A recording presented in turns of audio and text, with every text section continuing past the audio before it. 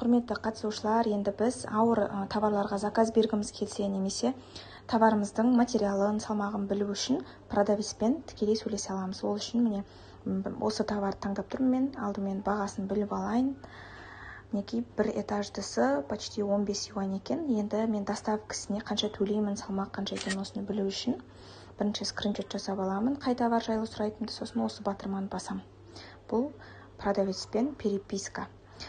Міне осы жерді басамыз. Жаңағы скриншот жасаған товарымызды салайық. Қай товар жайлы сұрап жатқанымызды иә? Сосын переводчик бізге көмекке келеді. Переводчикпен біз бірінші қазақша жазып аламыз. Сәлеметсіз бе бұл міне осы өнімнің салмағы қанша? Және соны қытайшаға аударамыз иә? Дұрыс аудардық па? Тексеріп алайық. Дұрыс аударыппыз енді қытайшаны именно копировать етеміз да вставить етіп осы жаққа жібереміз продавецке. Оған бұл кісі бір нәрсе жіберіпті оқып алайық. Не жіберген? Так қымбатты деп жіберіпті түсінбедім в общем.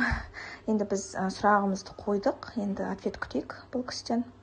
Мінекей жазып жіберіпті. Ол кісінің жазғанын біз копировать етіп тоже переводчикке саламыз.